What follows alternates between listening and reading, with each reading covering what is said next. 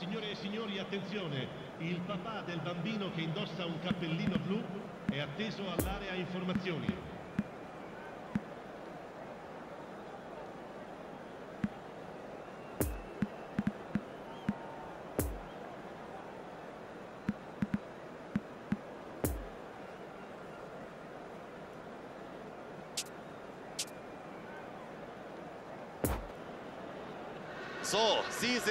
Startlöchern. Vor sich eine aufregende neue Saison im Kampf um sportliche und damit verbunden natürlich auch wirtschaftliche Erfolge.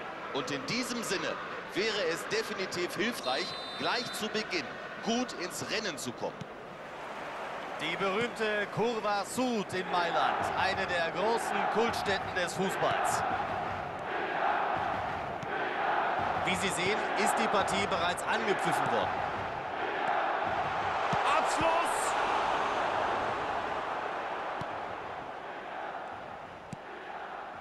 Und jetzt kann er den Konter einleiten. Und hoher Pass nach... Das ist Antizipation.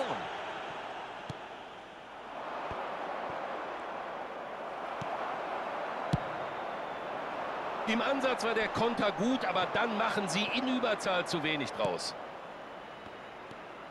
Hier ist Neymar. Neymar! Der Assistent lässt die Fahne unten.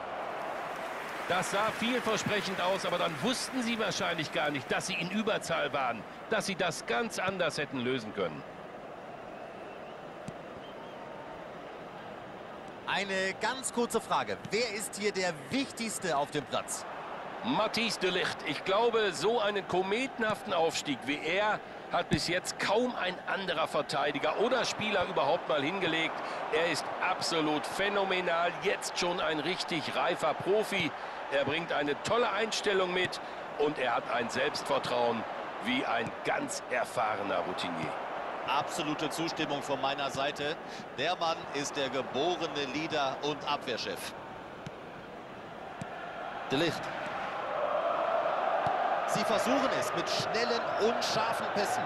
Gut gesehen, guter Laufweg. Ich denke, das war abseits. Ja, so ist es auch.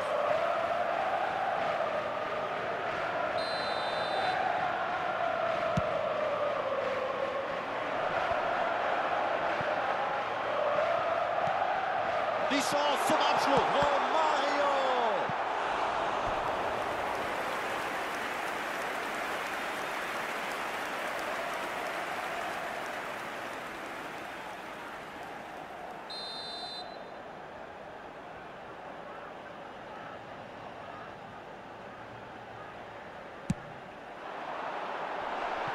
Der ist ihm komplett missraten.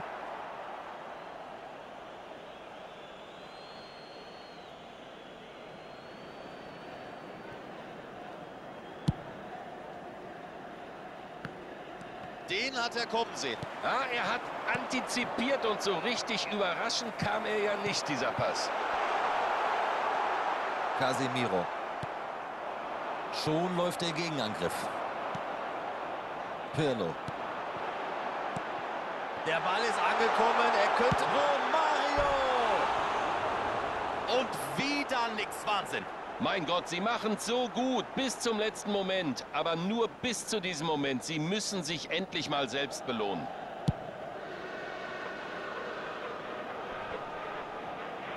Genauso läuft man den Gegner heutzutage an.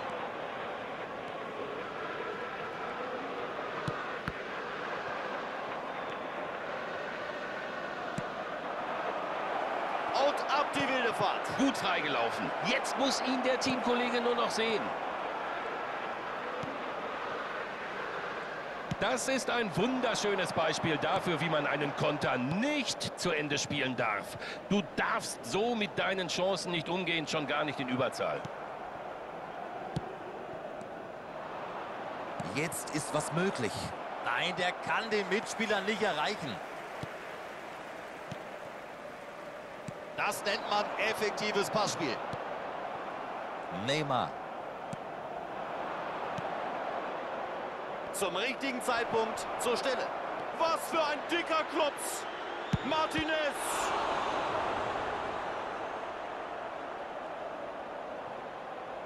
Er flankt zurück.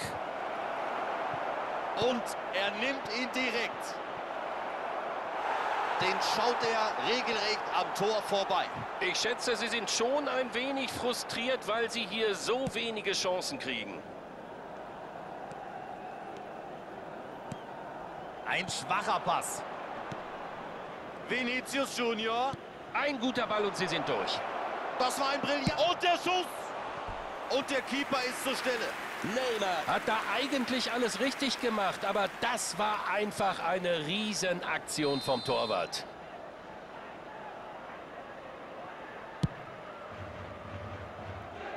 Und weg damit. Jawohl, Einwurf.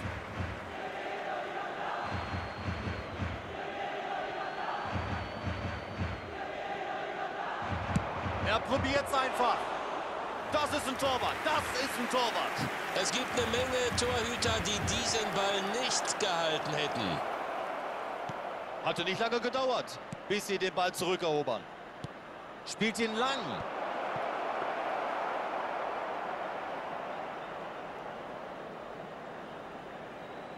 Oh Mann, diesen Pässen mangelt es immer wieder am richtigen Timing.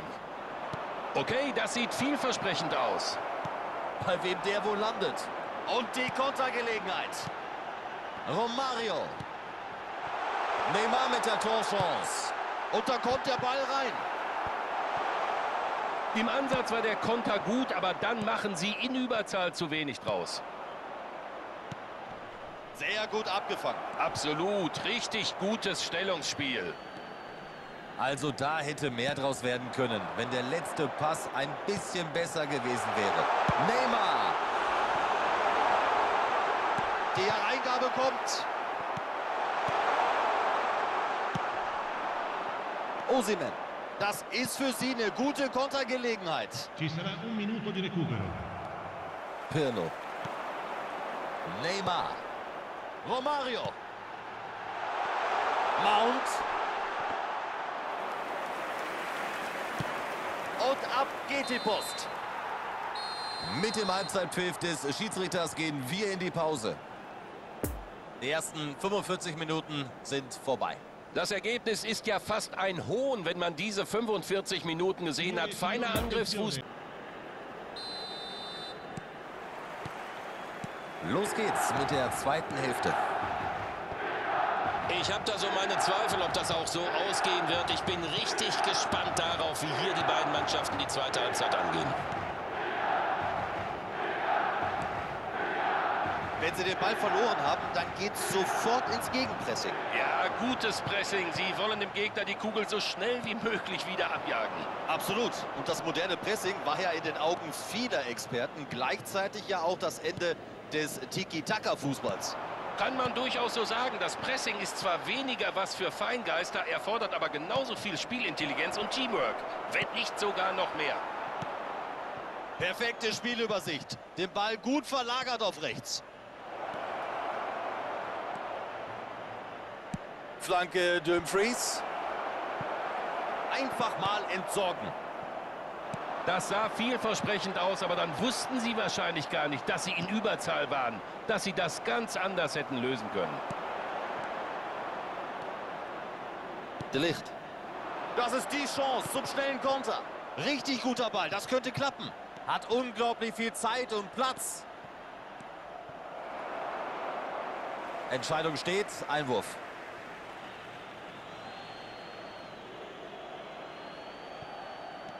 Hier ist Neymar.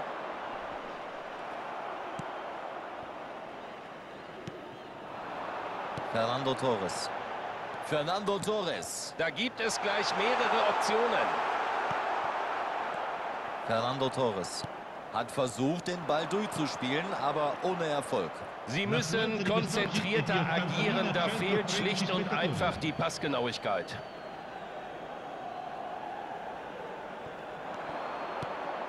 Nein, der kann den Mitspieler nicht erreichen. Romario. Da geht im Mittelfeld praktisch gar nichts. Die müssen im Zuspiel genauer werden. Er entscheidet sich dafür, erstmal hinten rum zu spielen. Schuss. Super gehalten. Eine Glanzleistung des Keepers. Er zollt dem Torwart Respekt für seinen Einsatz. Eine Fünf-Sterne-Parade. Er hat sich den Beifall wirklich verdient. Eckball die zweite. Bislang erst eine Ecke für den Gegner. Sauber mit den Fäusten dazwischen. Er nutzt die komplette Breite des Spielfelds. Abgefangen. Gut gemacht.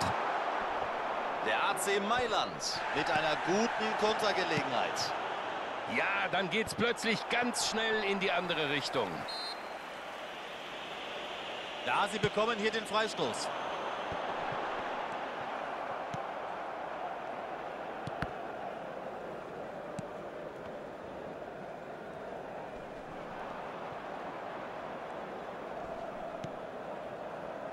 Jetzt ist Übersicht gefragt. Es geht über die rechte Seite. Der geht weit. Physisch enorm präsent.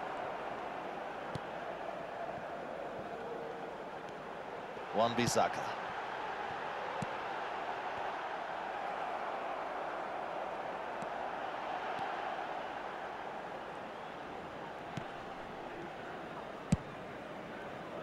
Und der Konter läuft.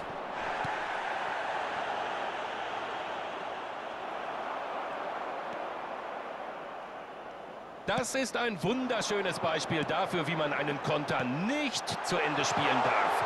Du darfst so... Und der Schiedsrichter scheint den Elfmeter zu geben. Ja, es gibt Elfmeter. Der AC Mailand mit der ganz dicken Gelegenheit.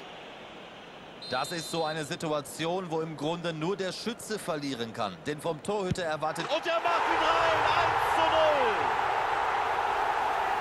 Der kennt einfach keinen Druck. Ohne jede Nervosität, ganz unaufgeregt, mit großer Sicherheit. So schießt man Elfmeter.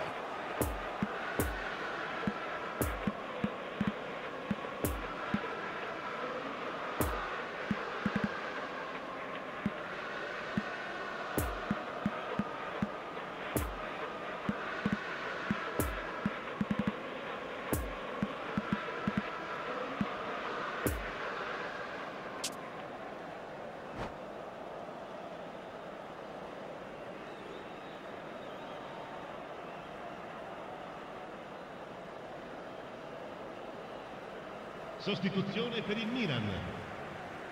Numero 10. Es ist Zeit für neue Energie. Neuer Spielstand 1 zu 0. Und eins muss man auch sagen, das ist definitiv keine Selbstverständlichkeit, dass ein Unparteiischer in einer solchen Situation, in einem solchen Spiel in der Schlussphase auf den Punkt zeigt. Il numero 18. Den knallt er einfach mal weg.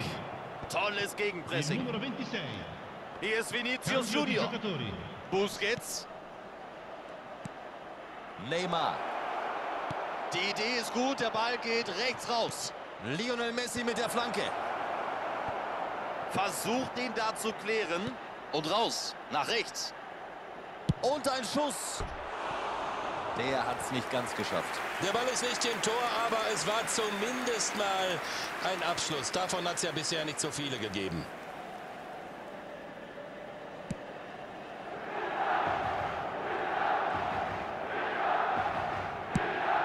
Den Ball vor.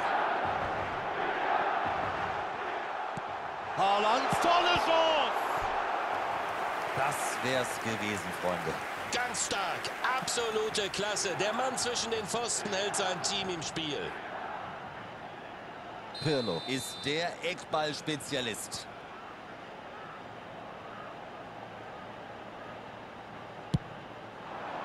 Richtige Entscheidung, da mit der Faust hinzugehen. Und der. Eine Riesenchance.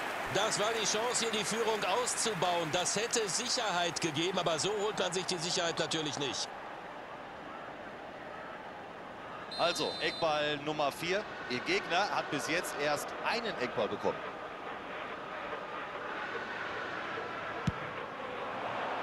Er schraubt sich hoch.